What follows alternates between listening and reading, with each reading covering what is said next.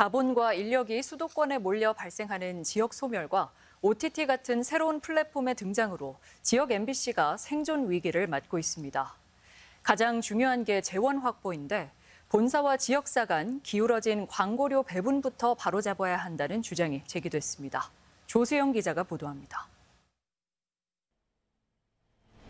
수도권 집중 현상과 급변한 디지털 미디어 환경으로 고사 위기에 몰린 지역 MBC.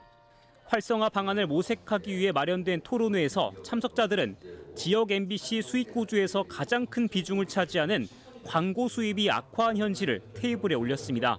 광고 수익을 통해서 이제 진행 유지가 되어 왔는데 디지털 미디어 환경으로 변하면서 legacy 미디어들이 지금 많이 줄어들고 있는 게 사실이죠. 실제 전국 16개 지역 MBC의 자력 판매 광고 매출액은 지난 2015년 462억 원에서 해마다 감소해 지난해 120억 원으로 4분의 1 토막이 났습니다.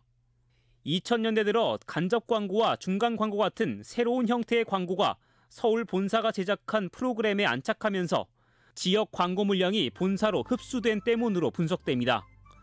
특히 예능과 드라마에서 등장하는 간접 광고는 해마다 100억 원 안팎의 매출 실적을 보이고 있습니다.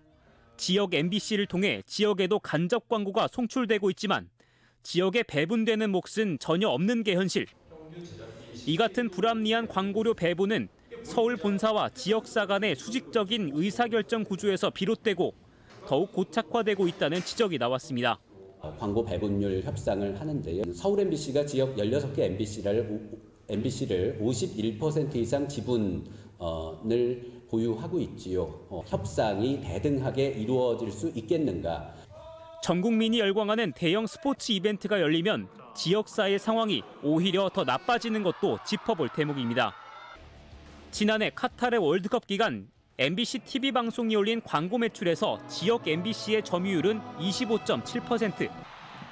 1년 전 같은 기간보다 약 8%포인트가 떨어진 만큼 서울 MBC는 점유율이 올라 매출액이 50억 원이 넘게 뛰었습니다.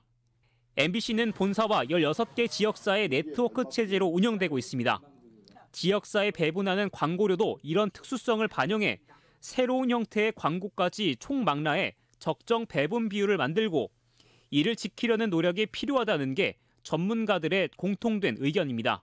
MBC 본사와 어, 계열사 간에 7대 3은 유지하겠다는 어떤 합의가 있었기 때문에 30% 이상의 비율을 어, 맞춰준다면 지역사회는 현재 많은 도움이 될 것으로. 전문가들은 서울 본사 중심의 조직 문화에서 벗어날 것과 지역 방송 발전 지원 특별법의 내실화를 해법으로 제시하고 지역 방송에는 대중성과 접근성을 두루 갖춘 콘텐츠 제작을 주문했습니다. MBC 뉴스 조수영입니다.